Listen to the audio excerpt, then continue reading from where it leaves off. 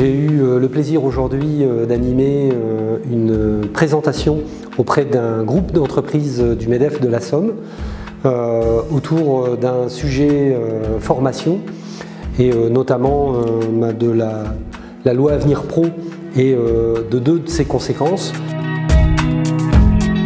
Le premier sujet, c'était l'apprentissage.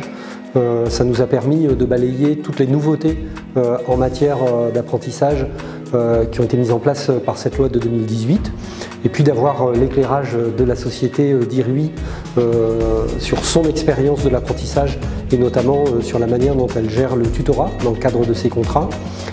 Et ensuite, nous avons abordé le sujet de l'AFEST, des actions de formation en situation de travail,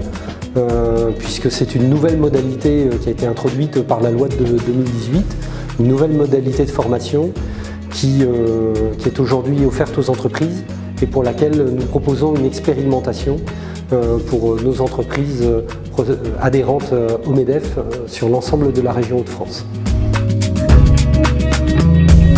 Chez Dirui, nous sommes convaincus que la réussite de nos entreprises euh, en majeure partie par la transmission des savoir-faire et des savoir-être.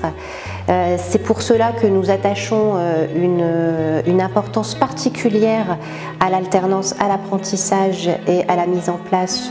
du tutorat, avec une, véritable formalisation, que ce soit en termes d'outils, sur tous nos métiers, puisqu'on a quand même une multiplicité de métiers dans notre entreprise, dans le bâtiment.